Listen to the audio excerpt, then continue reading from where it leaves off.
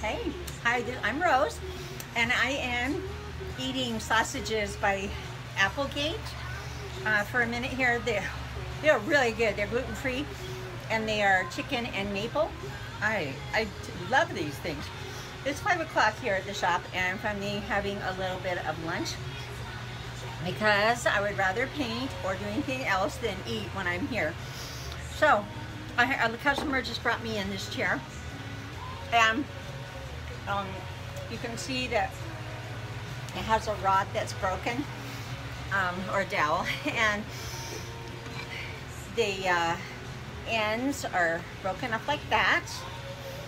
This end is broken. So both both of them from this one side.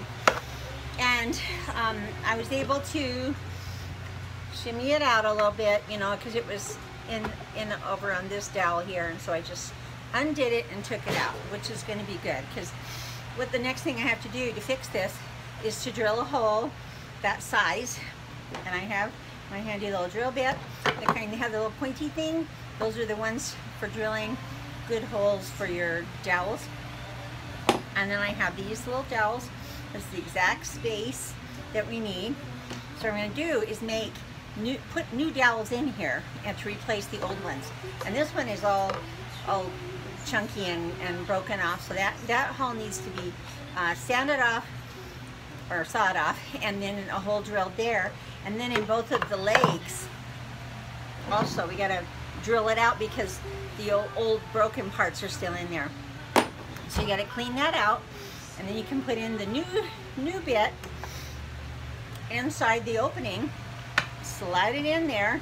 If you want, you can wood glue it most of these old chairs haven't been glued. One downside is if you wood glue in there, when it breaks, it breaks. and then you have to replace the whole thing. But it, it holds a lot better, you know, for the time that it's not broken. so it's, it's a choice. So that's all for today. Bye-bye.